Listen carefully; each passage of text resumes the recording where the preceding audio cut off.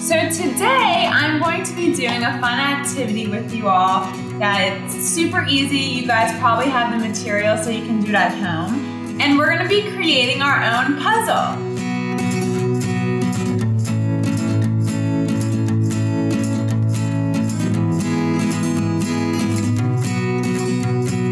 What I did is I took a white piece of paper and I cut it in half to fit the amount of popsicle sticks. So basically what we're gonna do is we have our popsicle sticks and you can draw a picture.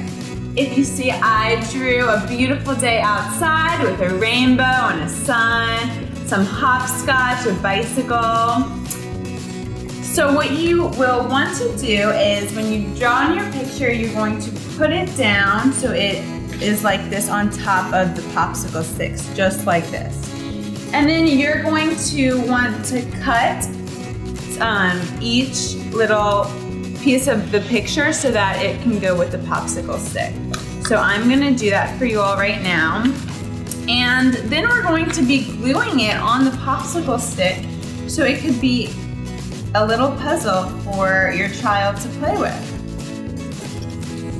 So I'm just gonna cut out each strip.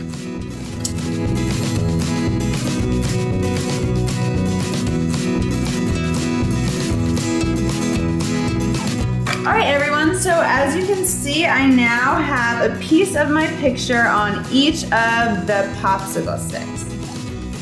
And so basically now what we're gonna do is we're just gonna glue the picture onto the popsicle sticks and we're going to make our own puzzle. So when we glue, you don't need too much glue, remember? So just about like this. And then when we glue, we just place it down and we take our fingers and we dab, dab, dab, dab, dab. And we're gonna do that to each one.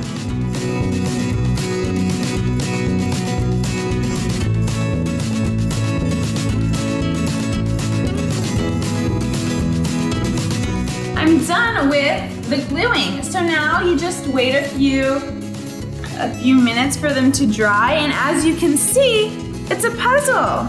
So if we just put it together like this,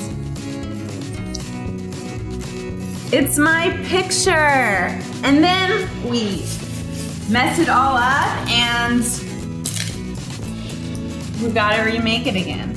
So this is a super fun activity and you can get really creative, make lots of puzzles, and I would love to see all the puzzles you come up with. And let's see if I can even do it. Oh, nope, this one goes here, this one goes here, and this one goes here. I hope you enjoyed this content video.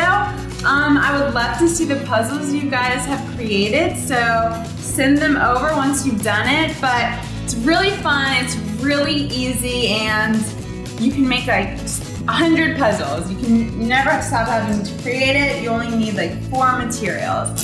So I, go, I hope you guys have fun, and puzzle time!